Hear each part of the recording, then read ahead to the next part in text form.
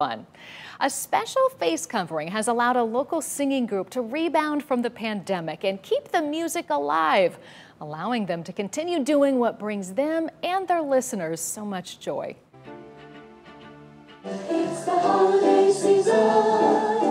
the sounds of the holidays fill the air at the Cleveland Metroparks Zoo coronavirus pandemic not playing Scrooge to the voices of the singing angels, who provide a beautiful soundtrack to the zoo's stunning wild winter lights. Holiday season every year is our busiest season. It's the most joyful season for us to be performing. The youth singing group was founded in 1964, but 2020 posed new challenges.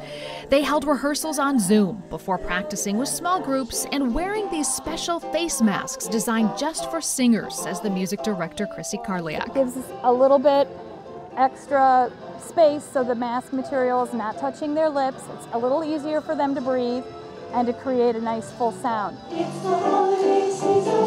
definitely a challenge, but we made it through. 18-year-old Megan Oreskovic has been singing with the Angels since she was 10.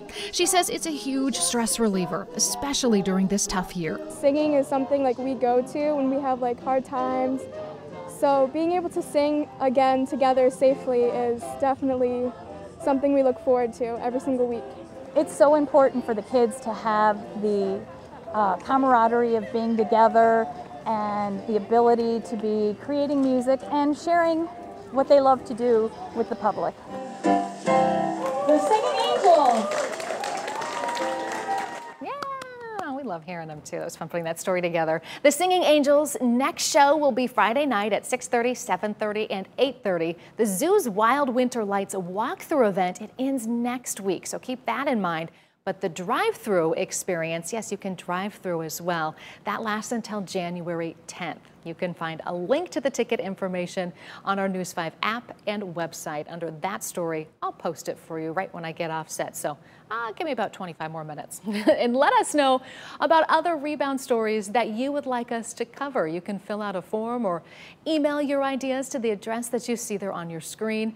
Uh, rebound at wews.com.